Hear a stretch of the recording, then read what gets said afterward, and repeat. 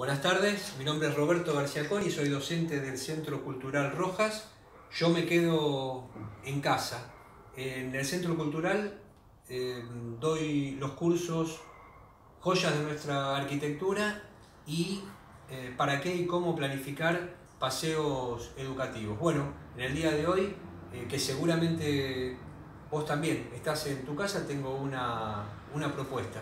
Em, esperando pronto vernos en, clase, que te asomes a la ventana, que salgas al balcón y que mires eh, las diferentes construcciones que rodean esas construcciones que están en tu barrio y que posiblemente por tus actividades cotidianas en otro momento no prestaste atención. Y que te hagas algunas simples preguntas eh, qué función tienen cada una de esas construcciones, si son viviendas unifamiliares, si son viviendas multifamiliares, si tenés fábricas, qué diferencia hay entre un edificio y otro edificio, si se ven eh, monumentos, de qué año pensás que esas construcciones son, qué comparación podés hacer entre tu vivienda, ¿sí?